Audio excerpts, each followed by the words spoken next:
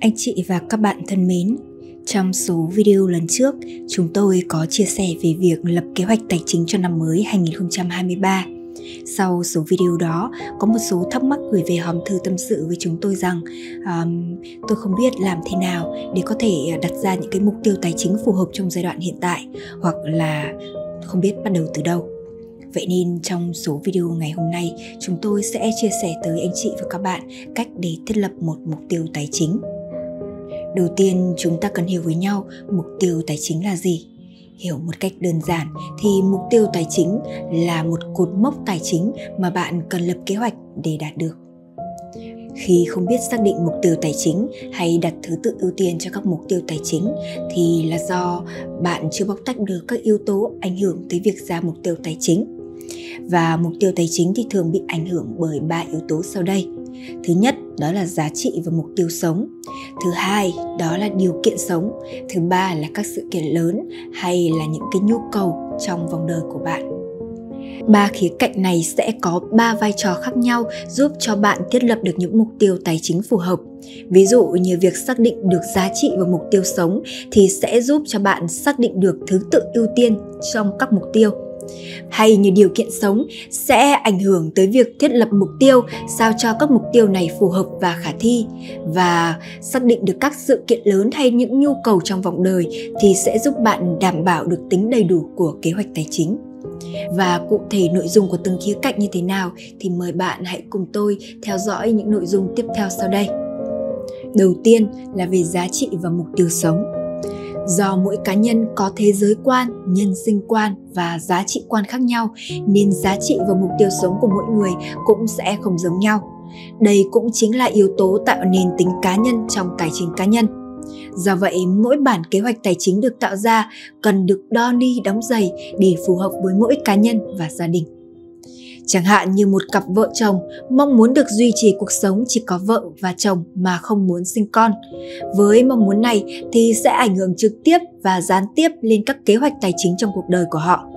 Chẳng hạn như là nếu không sinh con thì họ sẽ có ít gánh nặng về tài chính hơn so với những cặp vợ chồng có từ 2 đến 3 con phụ thuộc về tài chính. Do đó, nhu cầu về bảo hiểm nhân thọ của họ cũng sẽ ít hơn hoặc chẳng hạn khi xem xét kế hoạch về hưu, với việc không sinh con thì họ cần phải xem xét kế hoạch hưu trí cũng như di sản thừa kế của mình như thế nào. Như vậy, với những giá trị quan và mong muốn của mỗi cá nhân trong dài hạn hay ngắn hạn thì đều có ảnh hưởng đến mục tiêu và kế hoạch tài chính của họ. Khi bạn làm rõ được bước này thì sẽ giống như bạn vẽ tranh mà đã lên được bố cục của bức tranh vậy và quan trọng hơn, mục tiêu và giá trị sống sẽ như nguyên liệu đốt trong là động lực giúp bạn duy trì và hướng tới được mục tiêu tài chính vì nó thể hiện được đúng cái bạn thực sự muốn có, đúng là con người bạn. Yếu tố thứ hai là về điều kiện sống điều kiện sống thì sẽ bao gồm các yếu tố chủ quan và khách quan. Trong đó, nhân tố chủ quan sẽ bao gồm các yếu tố như là độ tuổi, tình trạng hôn nhân, tình trạng việc làm, mức thu nhập, người phụ thuộc hay sức khỏe tài chính của bạn. Nhân tố khách quan có thể kể đến như là tình hình kinh tế xã hội. Các yếu tố này thì sẽ tác động lên khẩu vị rủi ro và chiến lược phân bổ tài sản của một cá nhân hoặc là gia đình, sao cho để phù hợp với mục tiêu tài chính đặt ra. Giả sử như là một người trẻ, độc thân, không có người phụ thuộc với mức thu nhập trên trung bình thì sẽ có khả năng chịu đựng rủi ro tốt hơn với những người sắp về hưu. Vì thế trong cơ cấu tài sản của người trẻ thì tỷ lệ đầu tư rủi ro có thể cao hơn. Ví dụ như có thể đầu tư vào những tài sản rủi ro cao như là cổ phiếu hay là đất nền khu vực thư dân. Ngoài ra thì người trẻ còn có thể sử dụng đòn bẩy để đầu tư. Do vậy, khi một người trẻ đặt mục tiêu tăng trưởng tài sản từ 12 đến 15% một năm sẽ hợp lý hơn với một người sắp về hưu đặt ra mục tiêu này.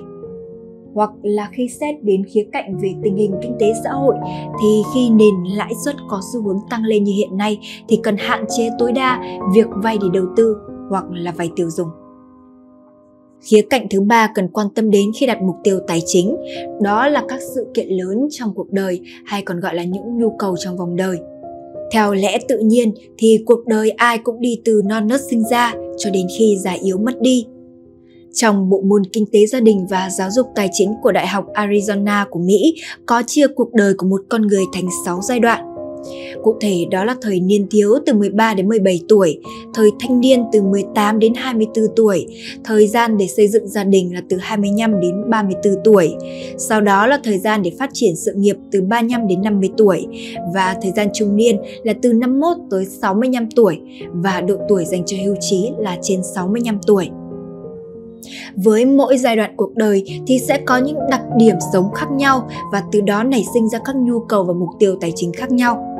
Giả sử như giai đoạn từ 13 đến 17 tuổi, giai đoạn này thì thường vẫn còn phụ thuộc vào tài chính và chưa có tài sản, chưa có thu nhập Do đó, nhu cầu trong giai đoạn này thường chỉ là để phát triển kỹ năng, kế hoạch tự lập trong cuộc sống, có được kế hoạch trong sự nghiệp, đánh giá các nhu cầu và nguồn lực tài chính trong tương lai, ví dụ như biết nhận biết và đánh giá nguồn lực về con người, tiền bạc, thời gian và tìm tòi khám phá về hệ thống tài chính. Còn khi đến giai đoạn thanh niên từ 18 đến 24 tuổi, thường giai đoạn này là giai đoạn bắt đầu quá trình tự lập, đi học đại học hoặc bắt đầu đi làm hoặc với một số người thì đây là quá trình bắt đầu đi làm. Vì thế, nhu cầu trong giai đoạn này thường là trau dồi năng lực để phát triển sự nghiệp, xây dựng sự độc lập tài chính, xác định nhu cầu bảo hiểm, bắt đầu tiết kiệm này, tạo kế hoạch ngân sách, kế hoạch chi tiêu và xây dựng, thực hành kỹ năng tài chính cá nhân. Trong giai đoạn xây dựng gia đình từ 25 đến 34 tuổi, đặc điểm sống của giai đoạn này là một người đã có gia đình nhỏ của mình, sinh con và có con nhỏ và giai đoạn này thì thường sẽ bắt đầu nâng cấp xoáy sâu vào chuyên môn trong nghề để nâng cao sự nghiệp của mình hơn. Vì vậy, nhu cầu trong giai đoạn này thường là nâng cao trình độ nghề nghiệp, tích lũy cho quỹ giáo dục của con cái trong tương lai, xây dựng kế hoạch bảo vệ cho người trụ cột tài chính trong gia đình, lập kế hoạch kinh doanh quản trị tài chính cho công ty nếu như đang sở hữu một doanh nghiệp cho riêng mình à, xây dựng kế hoạch để tối ưu thuế và cần gia tăng thu nhập do nhu cầu của gia đình thì ngày càng tăng. Và trong giai đoạn này thì cần nghiêm túc xem xét đến việc lập kế hoạch nghỉ hưu. Giai đoạn tiếp theo đó là giai đoạn trung niên từ 51 tới 65 tuổi. Trong giai đoạn này thì thường có đặc điểm đó là con cái bắt đầu trưởng thành, học đại học, tự lập và ra ở riêng. Sự nghiệp thì đã đi tới giai đoạn chín muồi, có thể nói đây là giai đoạn đỉnh cao trong sự nghiệp của cuộc đời của một người và đây cũng là giai đoạn mà cha mẹ bắt đầu già yếu đi.